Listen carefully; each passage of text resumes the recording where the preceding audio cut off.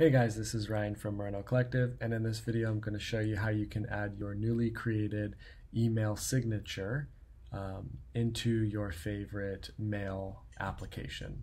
I'm going to use Spark as an example, but it should be the same for um, Gmail and for uh, like Mac's Mail app and all those other ones. So um, the first thing that we want to do is once you finish selecting the template, I'm going to actually go ahead and choose template 4 for mine and I'm going to hit create signature.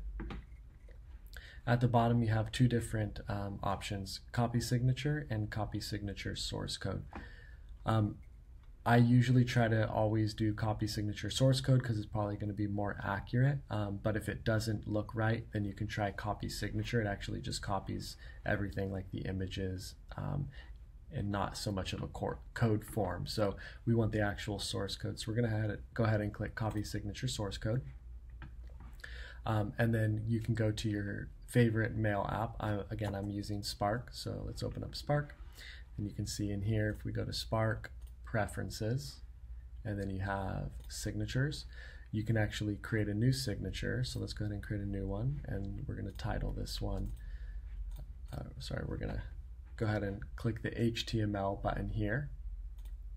Um, and that's where we want to copy in that source code. So I'm going to hit Command V to paste it, and then I'm going to hit the HTML button again to see the live version. And there we go.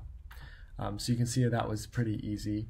Um, on the mail app for Apple I think it's going to be the same way. You just have to enter the source code. If you can't enter it in using the source code again just hit copy signature um, and that will allow you to paste it in um, just to a normal text box like this uh, it's the same for Gmail so if you just log into Gmail and go to the settings, you can copy the, um, the signature from that button and then paste the signature in there in Gmail. So it's pretty easy. If you guys have any questions, just let me know.